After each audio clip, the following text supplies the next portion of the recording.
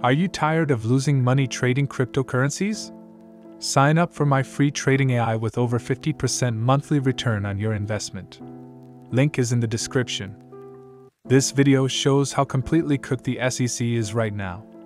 I want to share with you a recent find that John Deaton levied in connection with the emails from Bill Hinman offering a free admission to Ethereum. For a long, members of the XRP community wondered whether the cryptocurrency had been referenced in these communications. It was explicitly stated by John Deaton and Jeffrey Hogan that this would be disastrous for the SEC. John Deaton may have recently discovered that XRP was mentioned in these emails, but in addition to that, the SEC was adamant that they did not consider XRP to be a security. Honestly, guys, this is astounding. This is significant in the case.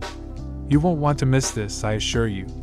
Guys, I just wanted to let you know that 24 hours later, cryptocurrency is indeed selling these XRP pennants once more. I always wear this stuff. Especially with the black background, this thing is sick. This item, in my opinion, is truly extraordinary. It doesn't cost that much. It's $76. The code for me is MM. This video's description states that you can save 15% by doing that. But he's also literally etching the price of XRP right now for this weekend alone. So ideally, you can look back on this in 10 to 15 years and think, wow. I find it hard to believe XRP was trading so cheaply. Simply said, I found this to be incredibly cool. Actually, he is paying for the engraving himself. Therefore, this isn't anything to profit from. Simply put, this is a truly cool product. So if you're interested, I highly recommend looking at that. Let's start the video now. In addition, I'd want to start with an old piece of news because, in light of what we know now, it simply seems so potent. Thus, Jay Clayton received this direct statement from Joseph Grundfest in a letter. And on December 17, 2020, this letter was delivered to Jay Clayton. Furthermore, this occurred just before Jay Clayton brought the present lawsuit against Ripple. Listen to this because it is stunning as hell and it reveals that Joseph Grundfest, a former SEC commissioner, was well aware of all that was going on at the organization and I believe it goes a long way toward demonstrating that everything the XRP community has discovered and that we have exposed is not a hoax. These SEC officials claim that this is exactly what occurred. He asserted that XRP must be allowed to trade freely in the market if Ether is. Ether should also be subject to limits if XRP is. Furthermore, any alternative outcome leads to a competitive imbalance that is impossible to justify without taking into account fairness and federal securities laws.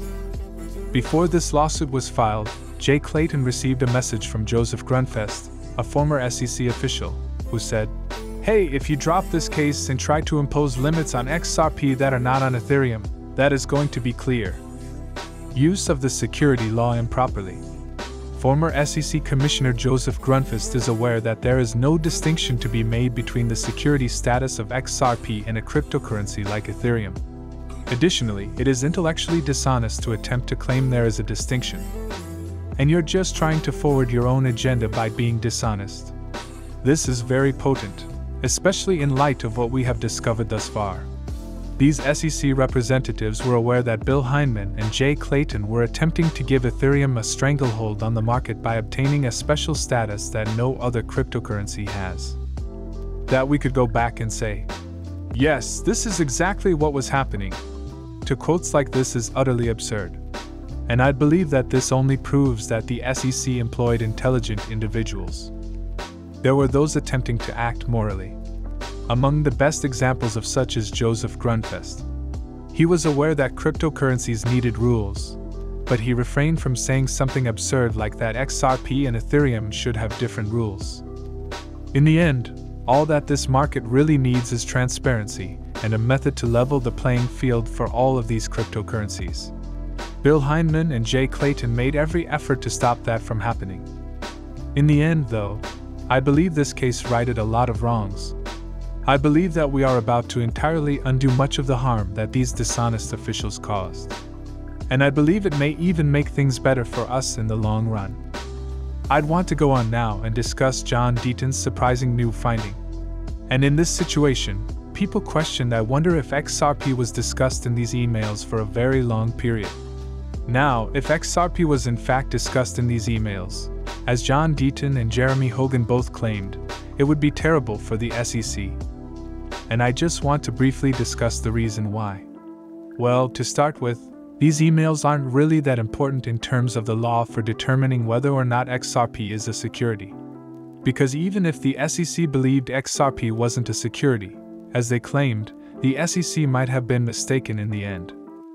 Furthermore, based on the Howey test, the judge may still decide that XRP constituted a security.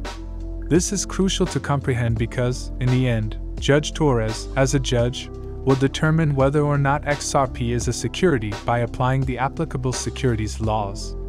Whether or not the SEC determined that XRP was a security has little bearing on the case. No matter what the SEC believes, nothing changes. Having said that, I don't believe it is discussed enough how badly this may make the SEC appear in Judge Torres' eyes. If the SEC is claiming in secret that XRP is not a security and then sues Ripple, alleging that the company's founders were irresponsible and purposefully traded XRP while aware that it was a security, that is an extremely terrible appearance and paints the SEC as a dishonest regulator.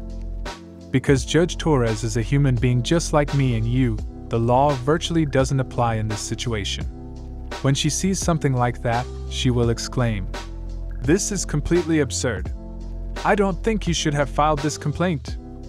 Therefore, in theory, these emails shouldn't affect the reality of whether or not XRP is a security. But I still believe it will have a significant influence on her choice. Judge Torres may have been thinking, Oh well, hopefully the SEC clears that up eventually.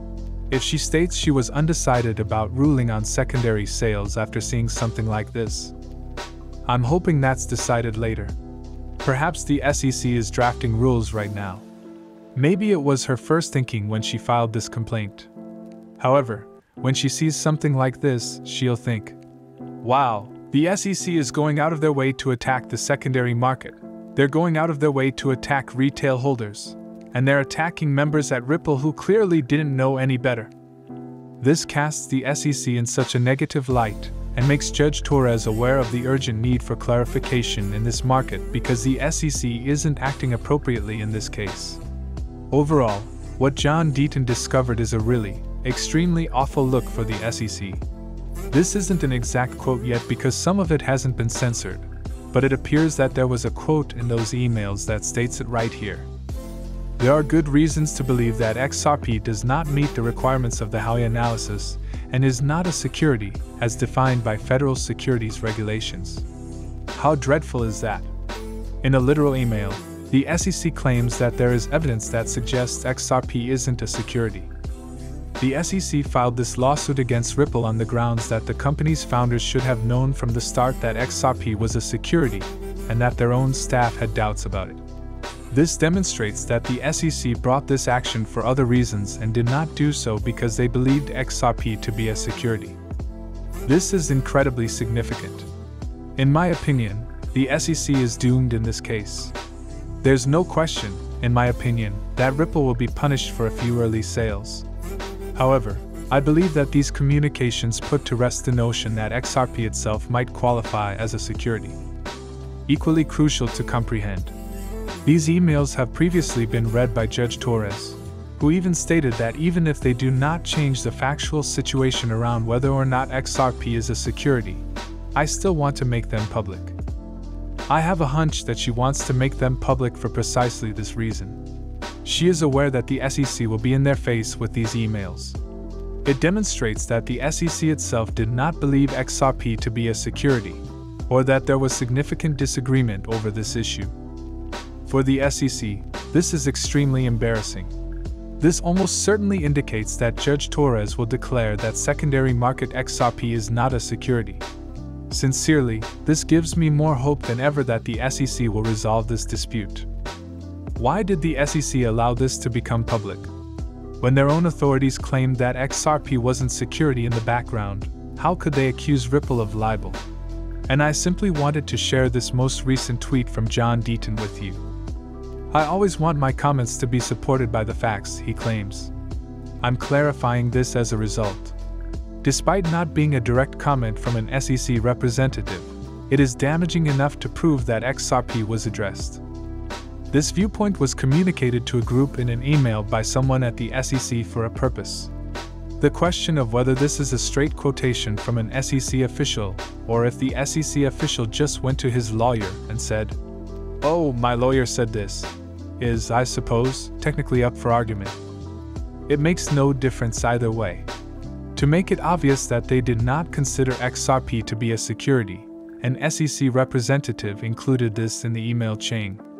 Furthermore, I don't see how the SEC will continue to exist after this case. We must wait to see the SEC's response. I'll be amazed if they allow these emails become public. I'm positive they won't ever let these get public.